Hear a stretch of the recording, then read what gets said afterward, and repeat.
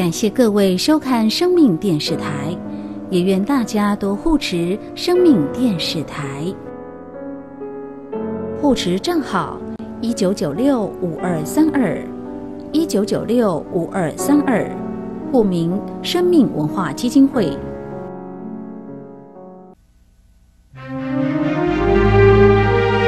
生命电视向您问好。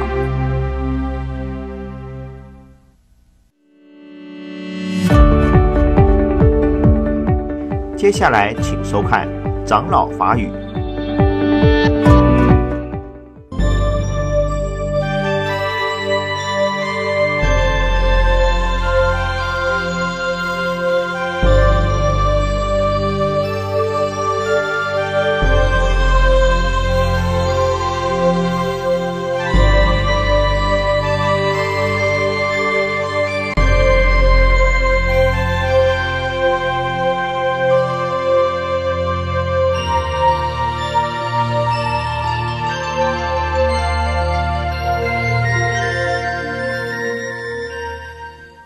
刚才讲的是越境论境，啊，越该亲近的境界来论境，就是上长号坐禅，在于闲处修摄其心，啊，这就是呃修学佛法求定的前方便、二十五方便都具备。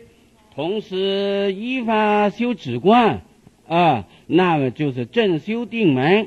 那么因为在前面介于定两门呢，已经说了一部分，告一段落，所以接下去先来一个总结。对文殊菩萨说：“文殊师利，是名初清净处。”啊，那么对文殊菩萨说：“这就是啊。”呃，行菩萨道的初学菩萨比丘，应当先学习学习该亲近的地方，就是持戒、修定，这是第一段。后边越非远非近来论清净啊，所以第三就是越非远非近论净。非远非近啊。远是远离，近是亲近。这里不叫它叫做远离，也不叫它叫做清净，是什么呢？这是说理，般若智慧的境界啊。以般若智慧的境界来说，也不叫做远离，也不叫做清净啊。非远非近方面来论这个该清净的道理。啊，所以呃，古的说，啊，般若如大火去，四边皆不可着，接着了就必定会被烧，费劲啊。般若好像大火，啊，四边都不可以接触，接触到就要被烧，好像一把大火一样。这说什么？般若是专破众生的执着，您凡是有所执着的地方，到了般若的境界里，都要被它破掉，好像烈火。那么这是啊，所谓灰烬啊。那么般若虽然是越破之方面如大火区，越体悟法空的道理方面来说。修学佛法必定需要学习的，所以另外又有一句话说：“般若如清凉池，四边皆可揉，揉则清凉。”般若好像一个清凉池，那么这个清凉池东西南北四边都可以进去，只要你能进入。般若的清凉池，人人都得清凉，所以叫做般若如清凉池，啊，四边皆可入，入则清凉。这是非缘，非缘，非缘就是进啊，怎么进？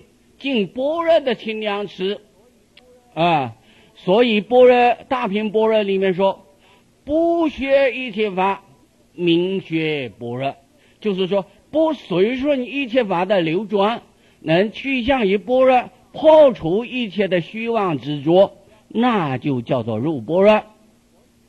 啊，所以般若就像一个清凉池，东西南北都可以进去，进去就得清凉，啊，这是非缘，啊，大火去非净，啊，那么您如果能够接近一般若，所有的执着都能破除了，所以这就是越非远非近来论清净。这就是修学菩萨道上应当要如法修学的地方啊。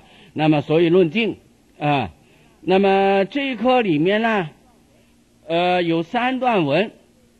第一，总标静智；第二，别是；第三，结成。先总标明。非远非近的境界，因能清净的这个智慧，啊，经文只有一句：福之菩萨摩诃萨观一切法空，观一切法空这一句话，就是就是总标所缘之境与能观之智，啊。这个能观之智，就是本有的智慧啊。所谓了因佛性，发出这个智慧功用啊啊，来观察一切法的境界啊。那么对一切法该怎么样子去观察呢？下面就说出该怎么观察了。所以，这先标出这个进”字啊，然后加以别释。下文就是别诗分别解释这个进制。别释里面经文如实相，不颠倒，不动，不退，不转，如虚空，无所有性，一切语言道端。不生，不出，不起，无名，无相，实无所有，无量，无边，无碍，无障。这就是别释，分别解释观一切法空的意义。啊，以般若三空的观法，观一切法，啊，那么这个一切法用十八种的这个方式来说明它的空义，啊，如实相，就是分别解释所观的十法界的境界，那么就是天台的十圣观法里面的观不思议境，啊。不思议境就是诸法实相，啊，观察一切诸法，当体就是真如实相，啊，实相是无相的，啊，因为凡所有相皆是虚妄，所以是无相才是实相。凡是我们眼睛看得到、耳朵听得到的、六根能能够接触的。那都是假的，都是虚妄不实的。这凡所有相，皆是虚妄。啊，若见诸相非相，则见如来。啊，那么这就是看一切法，当体无相，所以如叫做如实相。那么虽然无相，而能显现一切诸相，一切相不离这个实相离体，这是假观。观一切法如幻如化，所有的现象都是如幻如化的假象，所以实相又是无不相。一切相不离实相，离开实相没有一切相可得，所以实相又是无不相。这是假，前面是空，这是假，啊，那么实相之理就是无相无不相，啊，那么站在实相的本本体这边是无不相，啊，是无相；站在实相的妙用这边是无不相，啊，所以真空不爱妙有，妙有不爱真空，啊，那么这就是无相无不相为实相。假如你以实相之境来观一切法，无法不是实相啊。这十法界境，通通都是中道第一义谛实相之理。呃，这个道理怎么说？举个例子，假定说，你用一个金子，金嘛，金子，用金子去造成十法界的假象，用金子去做佛。金子做菩萨像，乃至金子去做地狱恶鬼等像。你看他的相边有佛有菩萨，乃至有六道凡夫，有地狱恶鬼畜生。你看他的体，同样都是金子，佛像也是金，菩萨像是金，就是地狱恶鬼畜生像也是金子。你看他的体，都玻璃晶体。样样都是金啊，所以古的说如金做器，气气皆金。你用金去做各种的器具，无论什么器具，看它的体呀，通通都是金，当体就是实相。这就是观十法界经，都是不思议的啊，中道第一的空假中三观同时具足啊。所以天台的一心三观啊，一空一切空。假中皆空，一假一切假，空中皆假；一中一切中，空假皆中。举一法而三法具足，啊，三一不二，这就所谓看一切法就是实相。那么离开实相，别无相可得，所以如实相，啊，这是第一。第二，不颠倒。颠顶也，头顶这个地方叫做颠，最高的地方，这个叫这个叫做颠。那么应当顶天立地，头顶对天。现在你把它倒过来了，倒过来，啊，脚朝天而头朝地，这就倒，这个叫做倒。颠倒两个字就是本来应当朝上的，你现在把它朝下，是颠倒了，啊。那么我们众生本来当体就是佛，一切众生皆有佛性，啊！可是现在在轮回六道，啊，轮回流转没有停止，这就是因为众生心颠倒啊！怎么颠倒？啊，认妄为真，认贼为子，啊，认这个原力心为心，不认真心，啊。那么因此之故有这个颠倒，所以轮转不息。假如你能体悟诸法实相，就不会颠倒，就能远离一切颠倒梦想。我们天天在念心经啊，般若心经啊，远离一切颠倒梦想啊。我们平常都在颠倒梦想之中啊，在哪里过日子？现在你如果能够契合诸法实相之理。就不会颠倒，就不会随颠倒境而流转，所以叫做不颠倒。第三句，不动，微微不动，如如不动，成佛了。八风吹不动，啊，大家都知道，啊，苏东坡被一个屁打过江，啊，而他做的句子是八风吹不动，啊。那么他一个屁打过江，被屁打过江，就是因为颠倒。假如不是颠倒，屁打不过江，就是真正的枪打也不过江，啊！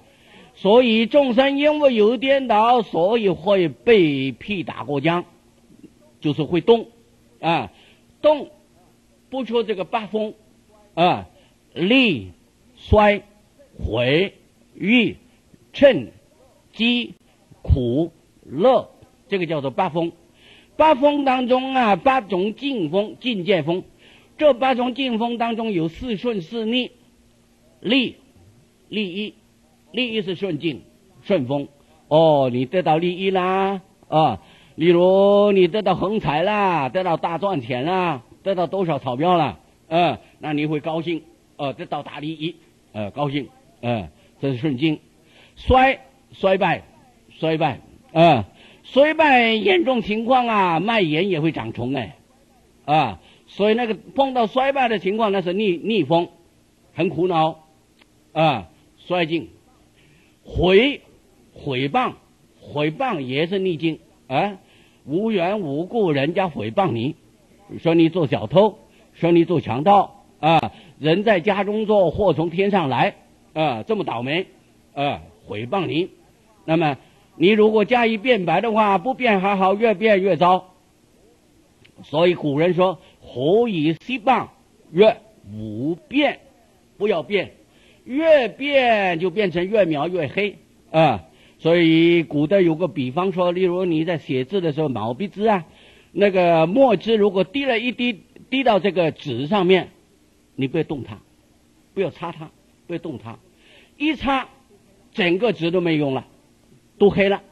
你不要擦它，让它慢慢干掉，没事。啊，这个呃是非终日有啊，不听自然自然无。世间的是是非非，一天到晚都有。谁人背后无人说？哪个人前不说人？啊，哪一个人背后没有人说好说坏的？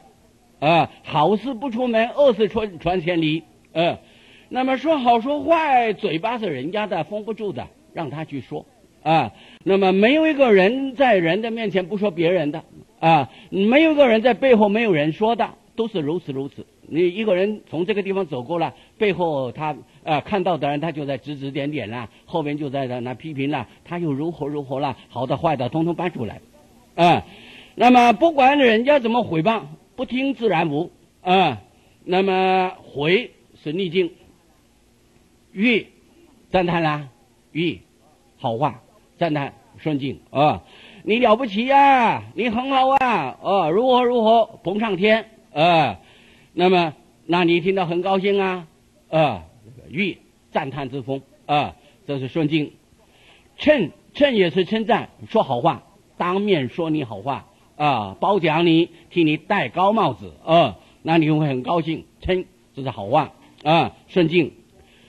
讥讥讽讥讽讥笑啊，有人哦，有人最好的嫁了，有人最文艺的嘛，哦。又零罪和你讲假零罪，那就是讥讽法，讥笑不是禅宗的讥讽哎，禅宗讥讽是好事哦。这个讥是讥笑的讥，年字旁一个己字啊。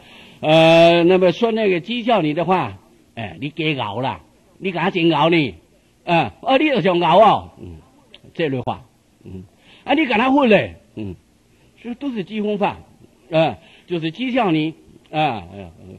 那么说的你听起来好像是又像好话又不像好话啊，那一种话讥讥讽话听起来，如果了解他的意思，当然不好受啊，心里不好受啊。力衰毁毁誉趁机，苦乐是总义啊。逆境是苦，顺境是乐啊。无论是苦境乐境，都是境风。假如你苦乐的境界不会被转的话，呃，那就不会被劲风所动。所以八风吹不动，才能端坐紫金莲啊。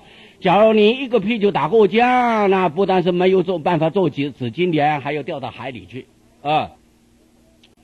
这个不动啊，因为不颠倒，不颠倒才能不动。假如你还颠倒的话，哪能不动啊？啊，比如我在这讲经。啊，你学到话讲啊，法师啊，你讲好讲哦，我欢喜欢喜，干唔免食饭啊，顺境。假如你在背后啊，那有什么了不起呀？嗯，很平常啦，嗯，差不多啦。呃，我讲起来还比他好呢。嗯，我一听到不高兴了。哎，我辛辛苦苦下了多大功夫啊，我在这讲给你们听，你还不高兴啊？我心里不高兴了。哎，就被金夫所动了，这个屁就打过江了。所以，假如你心里不颠倒，没有梦想颠倒，哎，当然就能不动啊。佛怎么能够不动？因为他不颠倒啊啊。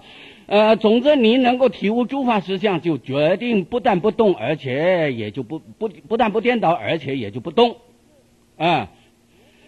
其次，不退。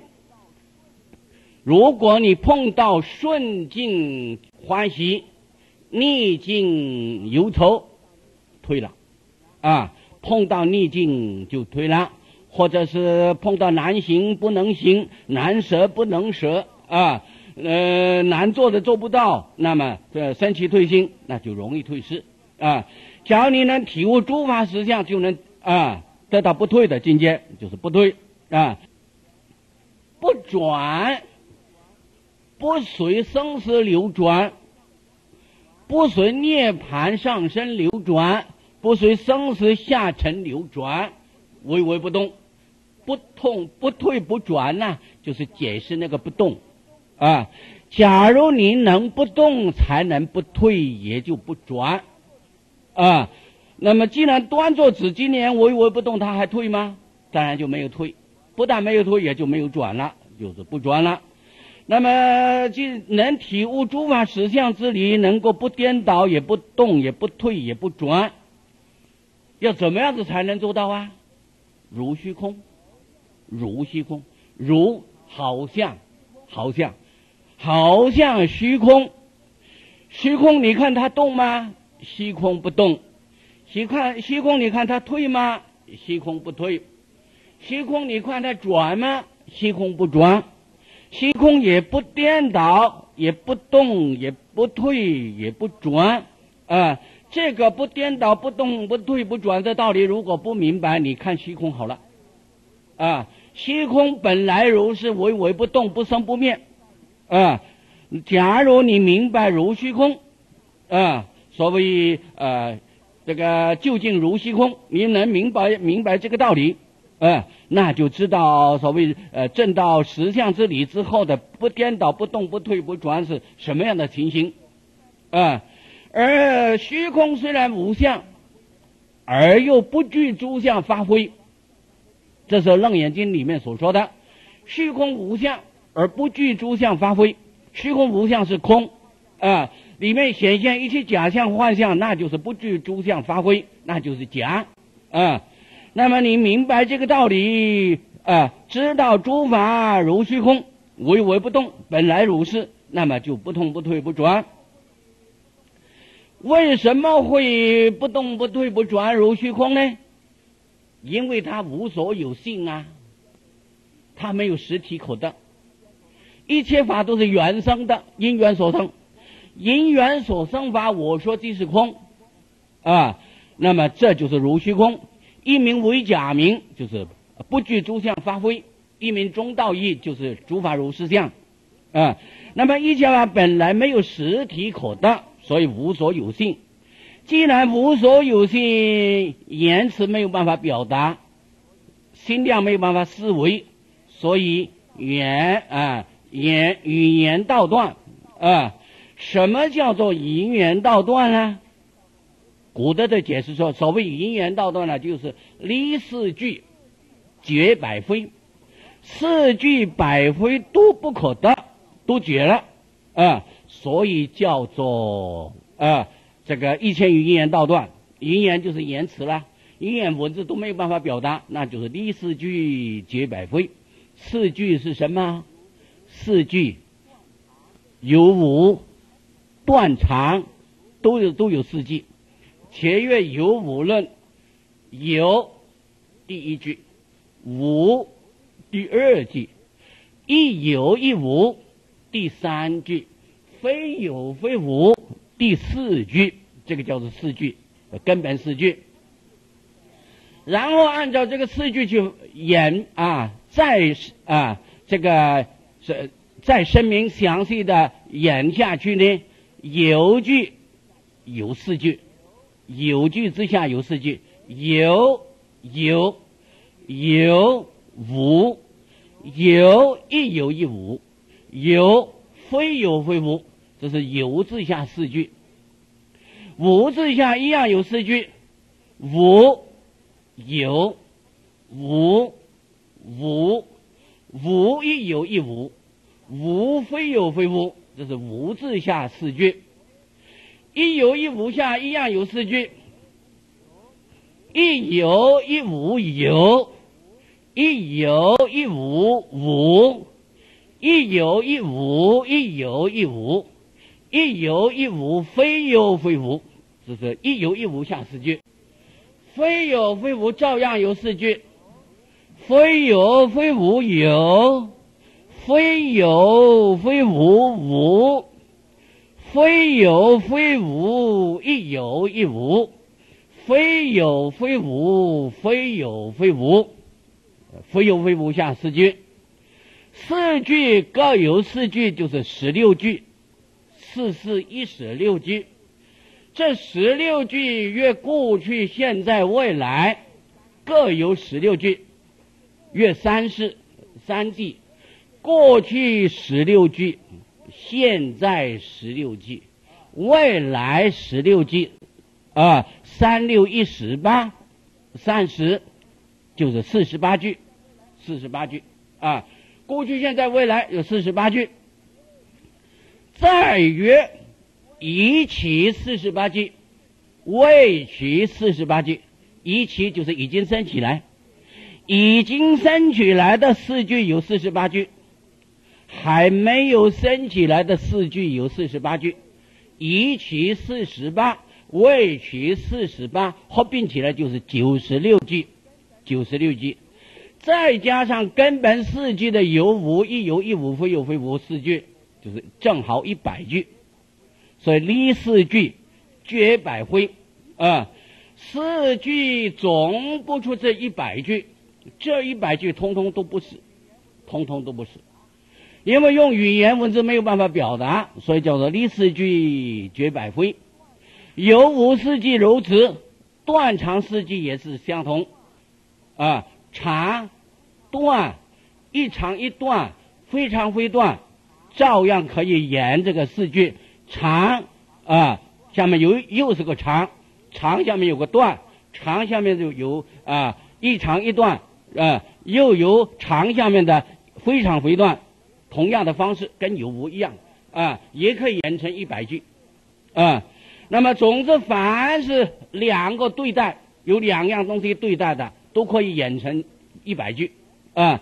总而言之，用言辞去表达但没有办法表达，增加一句，叫做正啊，正与谤，正与谤，啊，增加一句就是增加一句的诽谤，啊，叫做正一谤，谤是诽谤的谤啊，增加一句是正一谤。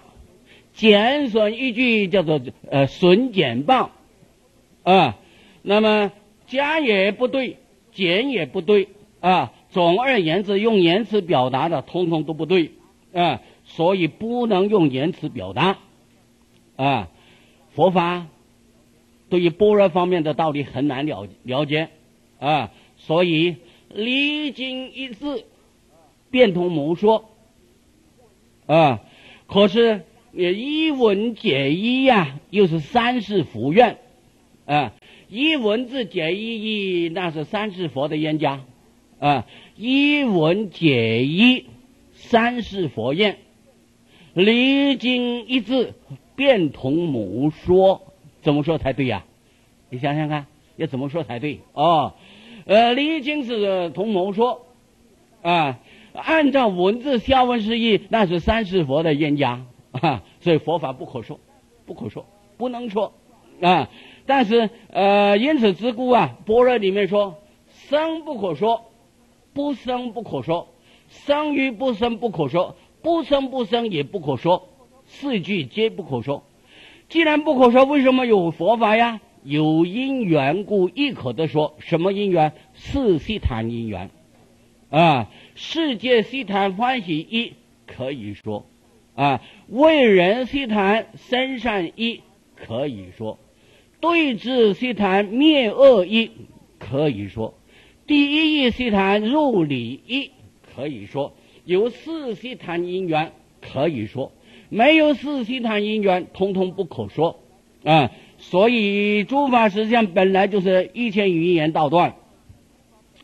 既然一千余言道断，诸法本来就是不生不生就没有啊，没有生灭啊，不出不出就是没有来去啊，不起就是没有生起也没有灭啊，名字也不可得，相也不可得，无名无相，不生不出不取这三句，中观论龙树菩萨的中观论里面呢叫做八不，详细分啊分别有八种不啊，这个中论的句诵里面叫做。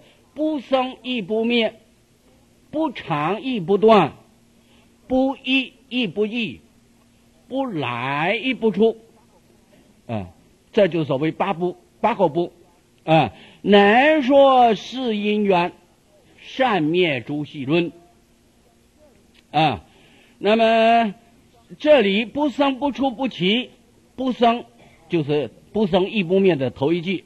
啊，里面就包含不断不长，不一不异，不来亦不出，就是第二句的不出啊。那么里里面就包含不齐，所以不生不出不齐，就是包含龙寿菩萨的中观的八部啊。一切法本来就是如此啊，没有生生灭生灭构境啊等等的相可得，也没有正见口说啊，因为一切法都是因缘所生。能说是因缘善灭诸系诸系论，懂得因缘法，就不会被这些系论所转，所以不生不出不起啊！你看一切法，个个有它的名，名是实在吗？假的，都是假名，所以无名，没有实在的名可得。举例说，活，活是名啊。那么这个火的名是真是假呀？绝对是假的。假如火是真的话，你说出火来就要烧你的嘴巴。假如火字火就是真的话，就是真的火的话，那你一说火，不要把你的嘴巴摔掉烧掉了吗？水，水也是假名，水是真的吗？假的。假如真的水就是真的东西的话，你说出水，水就要从你的嘴巴流出来，啊，所以一切法只有假名，啊，所以世间法呀，这个假名都是人人把它安上去的，哪里有实在的名字啊？啊，我出现世间的时候，我的呃祖父替我取个名字，我就叫做什么名，啊。我出家了，我的师傅替我取个名字叫做慧信，我就叫做慧信。那么人家叫我慧信，我哦有，我就叫做慧信。假如当时我的师傅叫我慧相的话，我今天就变成慧相了，不会，不过不会看相哦。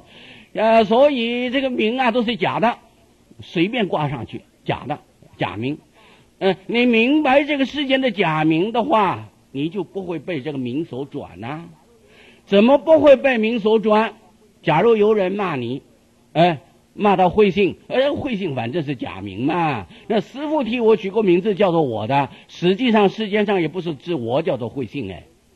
我记得有一年，啊，台北临济市传戒，啊，那个新界有六百多，那个新界的呃这个登坛的榜里面，我看了，叫做慧信的有六个，哈哈，我世界上也不是单为我取这个名字啊。这个“慧信”两个字不是为我而建立的，所以这个是一种假名，你不要认真。名是假的，相也是假的。你看哪个哪个相是真的？啊，这世间一切相都是都是在啊时时在发生变化，凡是有所变化的都不是实在的，都是假的。所以无相啊，无名无相，怎么一回事啊？实无所有。因为它没有实体呀，前面那个“实”字啊，就指它是实体。一切法的实体不可得，无所有，没有实体可得。既然没有实体可得，一切法都没有实在的这个形象啊，没有没有实在的体质可得，当然就没有实实在的这个现象啊，所以无所有。那么下面再加上这个无量无边、无碍无障。这是什么意思呢？无量，量是数量。经论里面常说的五蕴、六入、十二处、十八界，这些民诉法中啊都没有实体，这些量的名相不可得，五蕴五蕴皆空啊，六入六入也皆空啊，十二处十二处也皆空啊，十八界十八界也是皆空啊，一空一切空啊，嗯，那么因此这个五蕴包含一切法，入处界通通都不出这个五蕴法里面。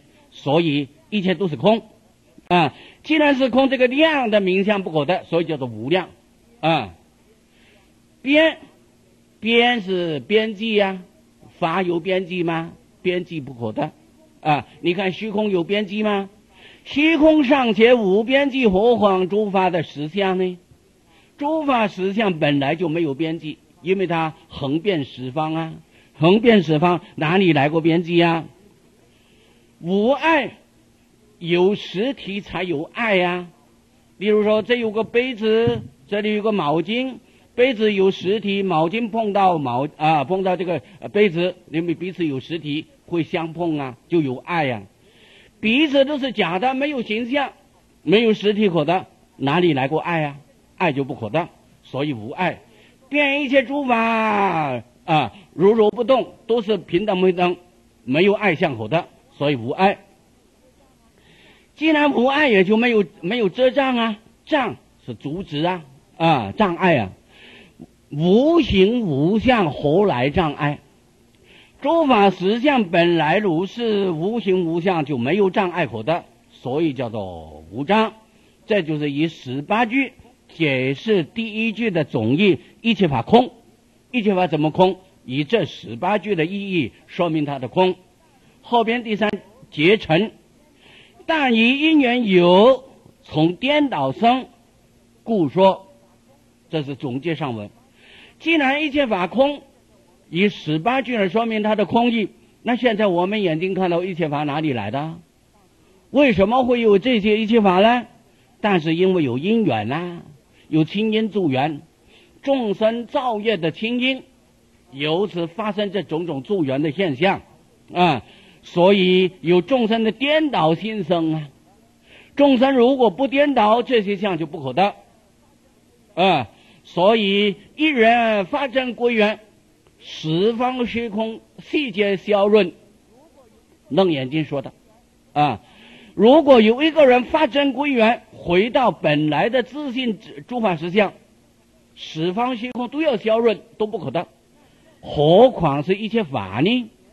那现在我们看到这个一切万象俨然是有啊，是因为我们还没有发真归元，因为都在假象，都在戏台上，所以有这些现象啊。因为你还没有发真，没有归元。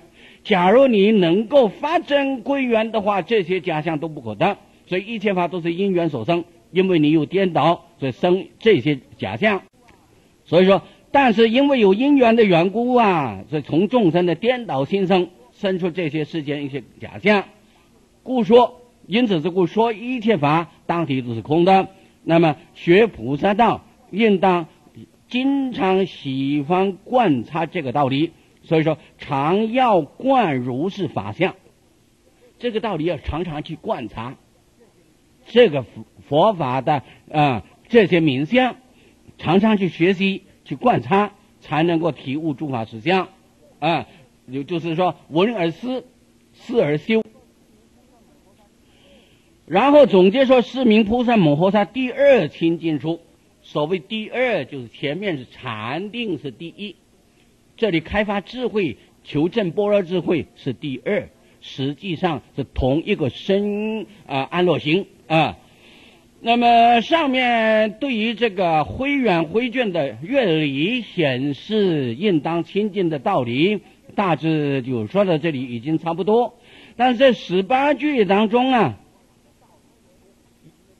里面所含的道理很多，里面包含的道理很多。法华文句、法华会议里面会议里面对这十八句的解释解释有好多种。假如一一都要提出来说明的话。那有很多很多的时间，不过里面有一种啊，是合乎般若的说法，我们需要学习，需要知道的。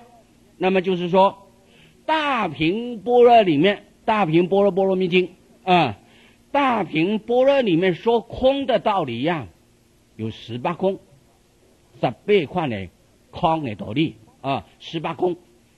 这十八种空啊，对照这十八句来解释，它这个意义更明显，更能够体悟诸法实相的这个般若的呃所谓实相般若之理，由观照而证实相。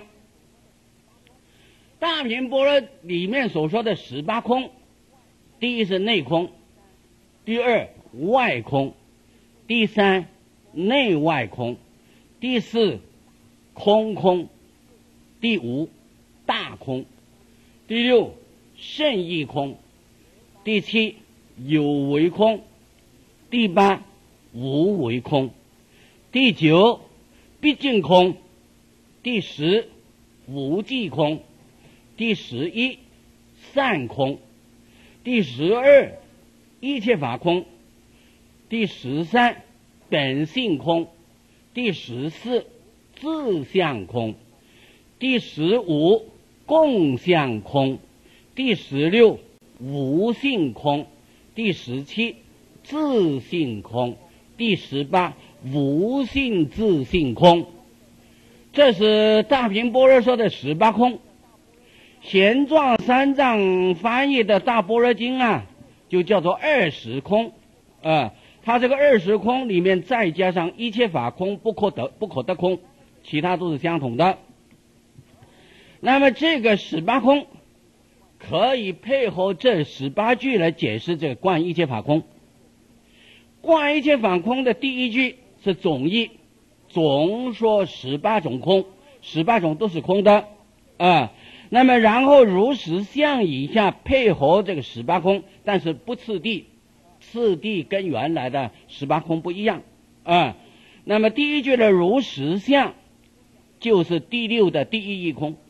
如实相就是第一义空啊，第一义空显示诸法实相之理，就是圣义空啊，也叫做第一义空，就是第六的圣义空啊。第二句的不颠倒，不颠倒就是第一的内空，内空，内空是什么啊？眼耳鼻舌身意六入空，六入是空，所以叫做内空。人的身心内啊，六肉是空的。这个众生不知道六肉是空，所以颠倒啊，执着我的眼能看，我的耳能听啊，乃至这执着我的意能知啊。那么有这个见闻觉知对对着外境身体颠倒，现在怎么能够不颠倒啊？因为内空，知道内空就是不颠倒，所以第二句的不颠倒就是十八空的第一内空。第三句的不动，不动就是外空。什么叫做外空？外六尘境，色、声、香、味、触、法，这个六种沉境是空。因为这六种沉境在人的身心之外，啊，认为是在外边，所以叫做外空。这个色、声、香、味、触、法都是众生啊，因为颠倒才认为有这些假名，那么这都不可得。大体即空啊，那么你知道外空，所以能够不动。不动的原因，因为知道外空，知道外空才不动啊。外外面的沉静啊，外面六沉静，你不知道它空，就会被它所动啊。你看到好看的颜色，哦，你被这个好看的颜色所转，不就动了吗？你听到好听的声音，就被这个声音所转。那你的耳根不就动了吗？啊，乃至这个鼻子闻得香，舌头知道味啊，那么由此被这个沉静所转，都动。现在知道外空就不动，知道外空啊，明明知道它是空的，你还动吗？当然就不动了。所以不动就是第二外空。第四不推啊，就是内外空，内六尘、内六肉、外六尘都不动。啊，我知道它是空的，所以内外内外都空，所以不退。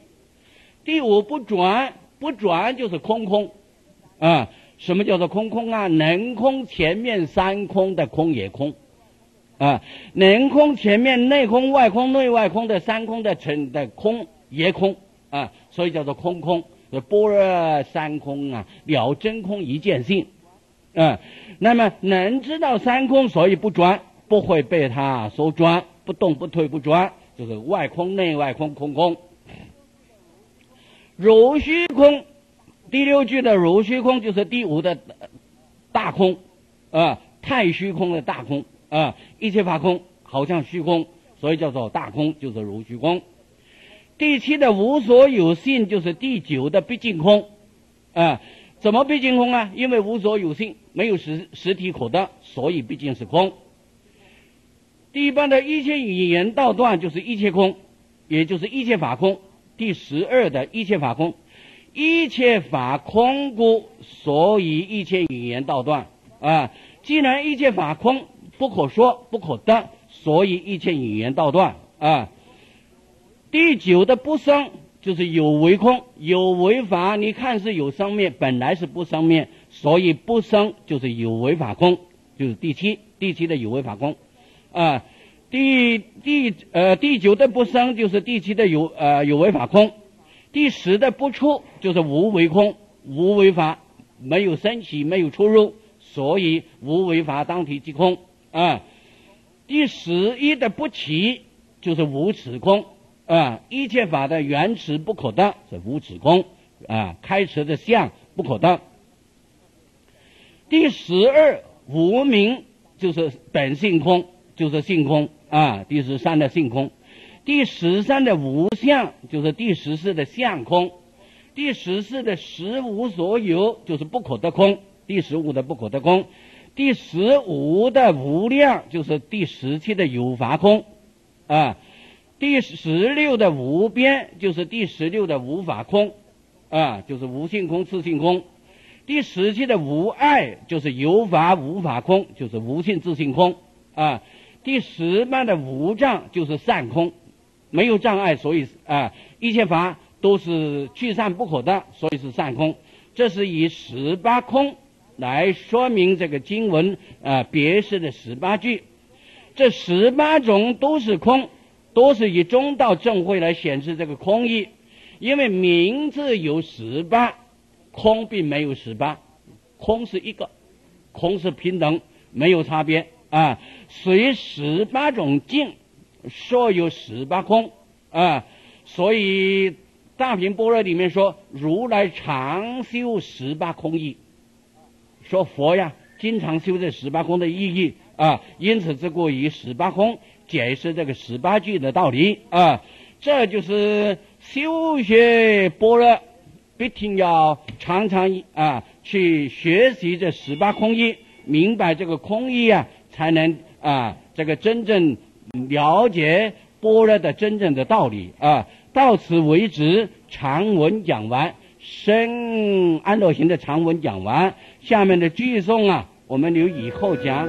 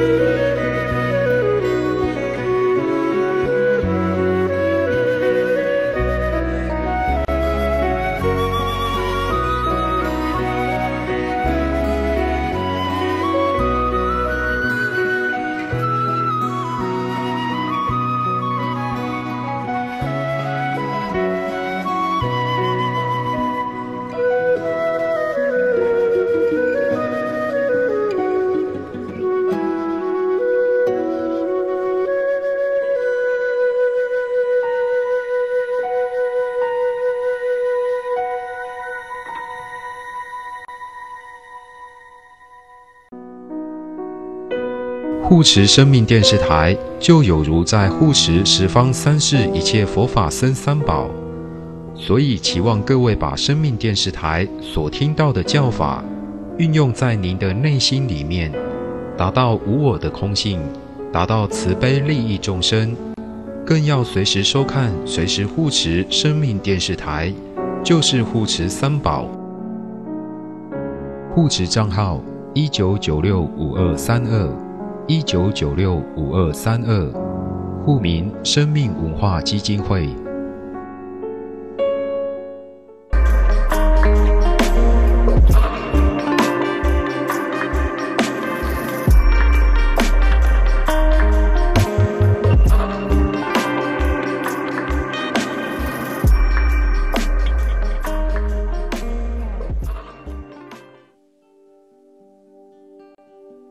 五姓财神法门，五姓财神音译赞巴拉，源于古印度的神奇巨毗罗，后由坦特罗佛教沿用，并由藏传佛教重新演绎。其法相是手持兔宝鼠或一袋黄金。当赞巴拉传到西藏后，各藏传佛教支派。逐渐发展至依不同修持所属的五种颜色形象，再配合五方佛的概念而成为五姓财神。一般人以五姓财神身上的颜色作为称号。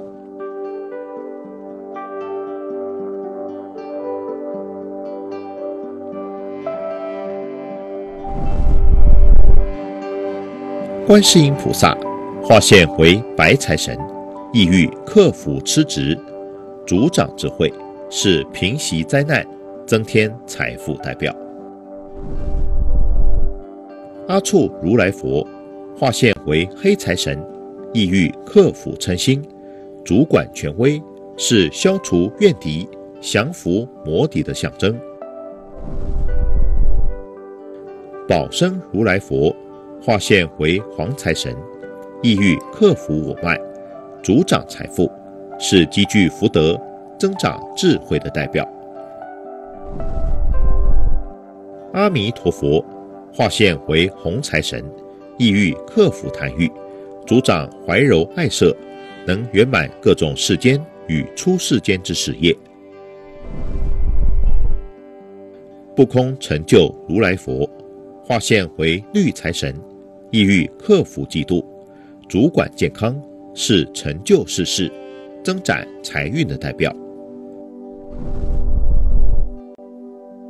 五姓财神是西藏人所供奉的财神，专门掌管天库财富之神。除了掌管财富之外，也是藏命护法一支庞大力量，还负责掌管嫉妒众生所有功利事业。赞巴拉并非一开始就有五尊形象。而是一个具有财神属性的神奇。当藏传佛教逐渐弘扬起来以后，以不同修持需要，才发展出黄、白、黑、绿、红肤等五尊不同形象的赞巴拉，并配合五方佛的概念而形成五姓财神。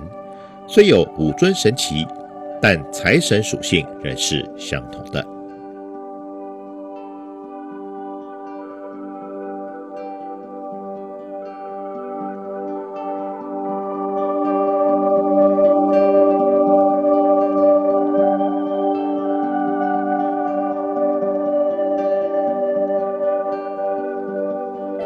财神行咒：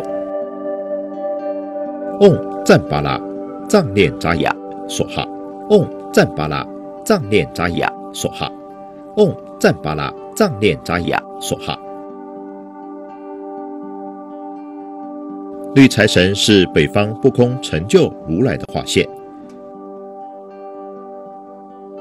绿财神一头二臂三目，头戴宝冠。以珠宝璎珞为饰，下身着丝绸，右手持如意果，左手捉土宝鼠。他的佛母是浅蓝色身的财源天母，与绿财神共坐于莲花月轮上，功德令一切活动成功圆满，净化厄运障碍，成就一切愿望。佛母绿夫一面二臂，手持蓝乌婆罗花，象征智慧。佛父佛母拥抱代表悲智结合的修行，因此修绿财神除了聚财之外，也希望能达到悲智结合的修行。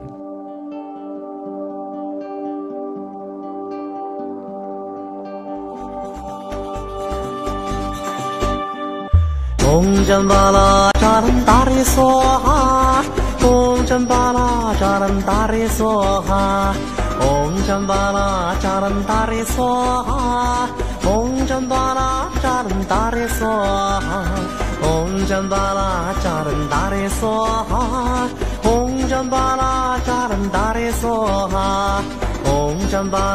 扎啷达里梭哈，嗡真巴拉扎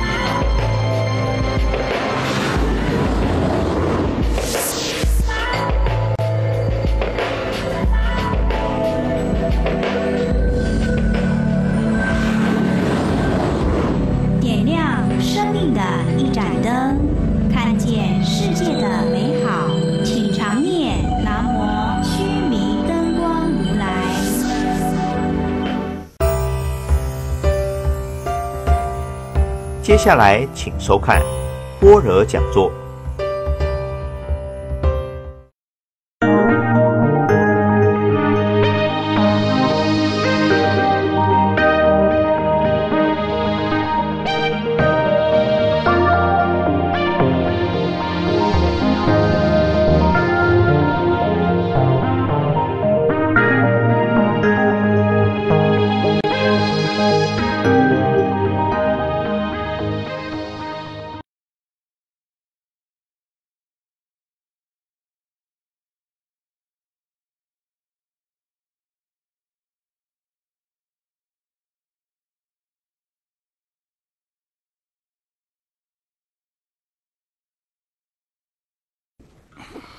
大众请向中萨清哲仁切三问讯：一问讯，再问讯，三问讯，请就座。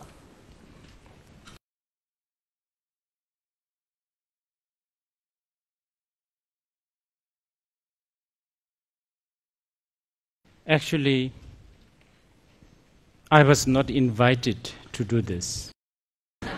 事实上，仁波切并没有被邀请来做这件事情。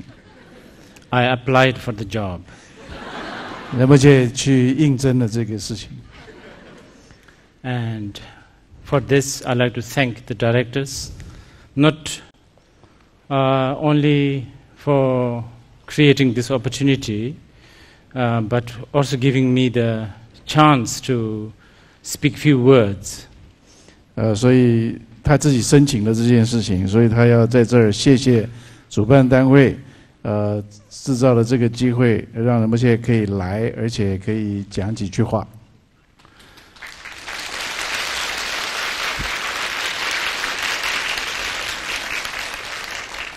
Actually, I'm not the right person to do this.